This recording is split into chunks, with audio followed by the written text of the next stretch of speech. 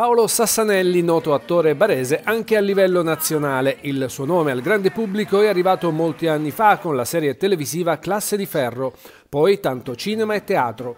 Ultimo lavoro, diretto da Alessandro Piva, concluso in questi giorni al Teatro Kismet nella sua città, ma ai primi di gennaio si riparte ancora da Bari. Sì, abbiamo appena finito questo spettacolo, si chiama Quanto Basta, al Kismet con grande successo, teatro pieno e sono entusiasta perché è stata una bellissima esperienza sia con Alessandro che conosco da sempre, che ormai è quasi un fratello, e con Lucia Zotti in scena è stato fantastico. Ma noi torniamo, e dico noi perché saremo in nove, cinque musicisti, tre attrici, ballerine, cantanti e un presentatore al Teatro Abelliano dal 6 gennaio al 9 gennaio presentiamo questo spettacolo musicale molto bello a mio parere, ma non solo a mio parere, che si chiama La leggenda del favoloso Django Reinhardt. Django Reinhardt era un chitarrista fantastico, diventato famoso dopo aver avuto un incidente che ha perso l'uso di due dita, quindi per un chitarrista dovrebbe essere una tragedia, invece lui ha sviluppato una tecnica, è diventato il più grande chitarrista jazz swing della, del suo tempo e tutti ormai è un mito per tutti i chitarristi. E noi raccontiamo la sua storia con la sua musica divertente che conoscono tutti, sono gli standard jazz degli anni 20-30 e lo facciamo in modo in, raccontando una commedia, però la commedia di un eroe.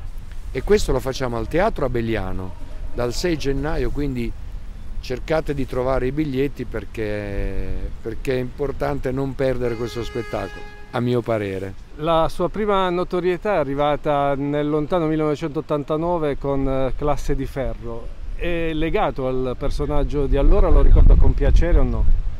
Come no, sono molto affezionato a Gabriele Serra, anche perché io ho rischiato, perché mi sono buttato in quella serie, ho detto guarda io lo faccio barese e lo faccio col mio dialetto, non faccio una parlata che mi invento, lo faccio a modo mio, come sono io e il regista Bruno Corbucci mi disse sì vai Paolo, vai tranquillo. E quindi io là ci ho messo di tutto, insomma.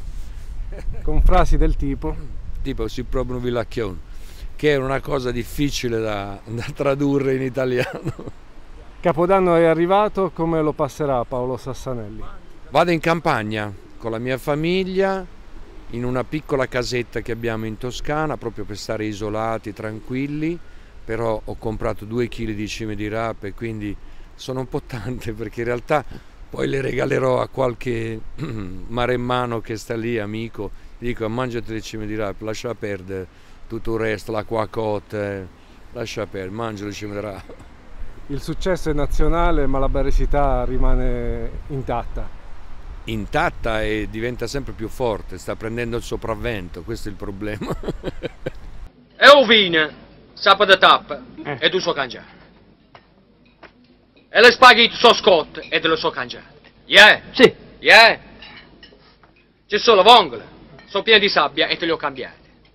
Ma per piacere non mi devi toccare i bari, maestro, Uvè? C'è un debole di Paolo Sassanelli eh, non troppo nascosto che è quello per il calcio e per il Bari calcio.